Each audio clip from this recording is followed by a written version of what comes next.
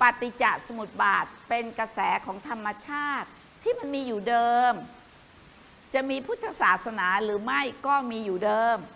มันคือธรรมชาติล้วนๆกระแสของธรรมชาติที่มันอาศัยกันละกัน ถ้าอาวิชามันคือความไม่รู้เป็นตัวเป็นเป็นเหมือนตัวหัวขบวน มันจะปรุงแต่งอย่างไม่รู้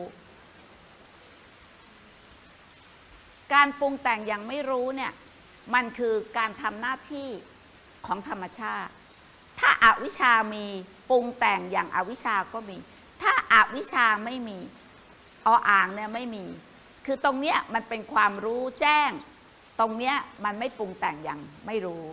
แค่นี้เอง ถ้ามันปรุงแต่งอย่างไม่รู้วิญญาณคือการรู้แจ้งตรงเนี้ย มันก็รับรู้อย่างปรุงแต่งอย่างไม่รู้ชีวิตคือนามรูปของเราเนาะก็มีเนี่ยแหละ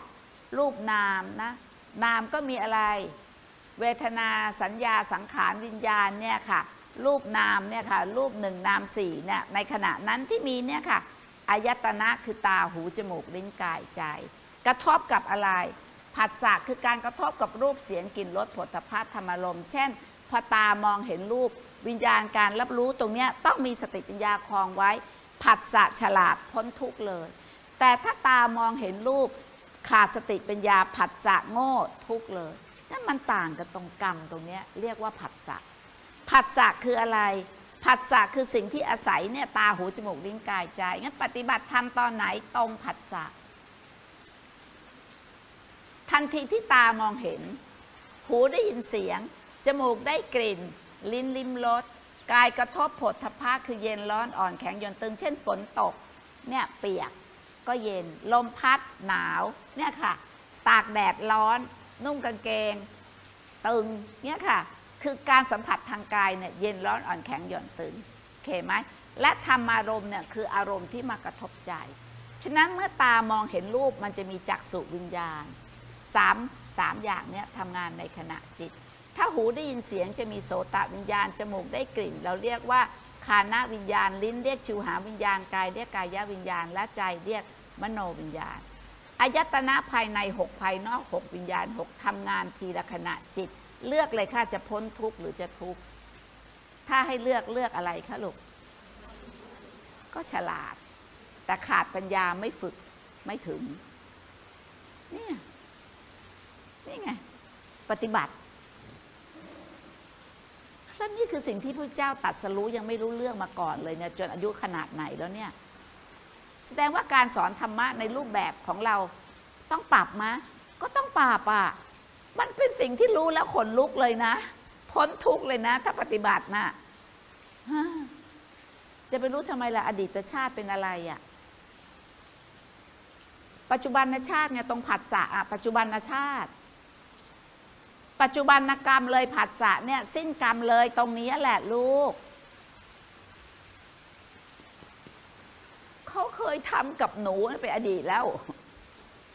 แล้วหนูคิดว่าหนูคงโตไม่ได้ไปอนาคตอีกทำไมสนใจปัจจุบันล่ะ ก็ไม่รู้จะสอนยังไงแล้ว ถ้าได้ยินแล้วต้องไปฝึก วันนี้ฝึกเลย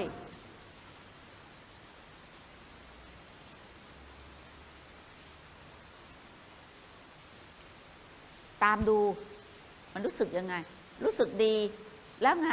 เราชอบ แล้วไงอีก ใช่เลย อย่างเงี้ย แสดงว่าราคะมาแล้ว รู้สึกไง ไม่ชอบ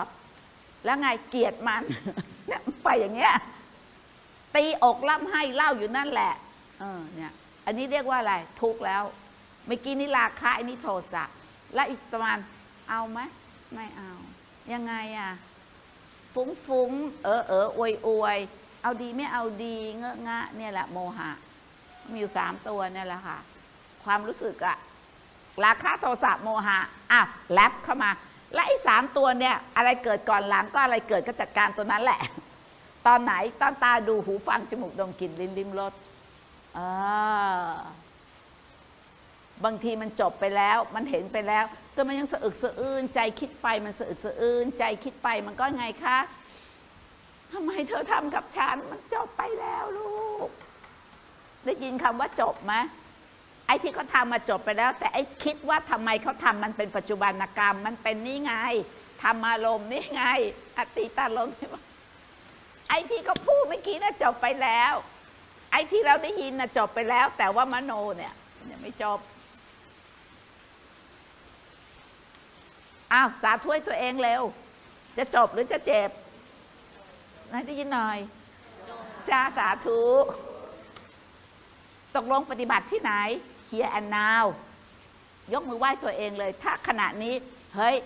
ถ้าเป็นสมัยก่อนละมึง เดี๋ยวนี้เหรอชิลบรรลุแล้ว หาเรื่องบรรลุทำหน่อย ไม่ใช่กูจะต้องตายไปอยู่ตรงนั้น เข้าใจไหม การบรรลุธรรมเนี่ยมันคือการพ้นทุกข์นั่นแหละ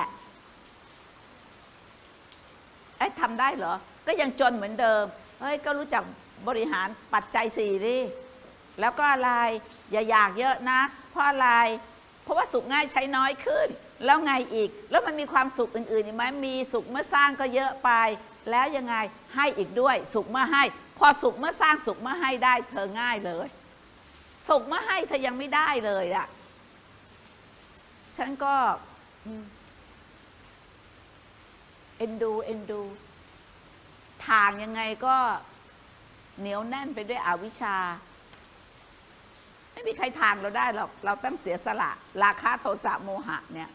เราถึงจะกลายเป็นผู้ที่มีจิตที่เบา จิตที่เอาอะ มันหนักอยู่แล้ว จริงค่ะ สุขสามสุขเนี่ยสุขง่ายใช้น้อยสุขมาสร้างและสุขมาให้เนี่ยเป็นสุขที่เกิดได้เลยค่ะ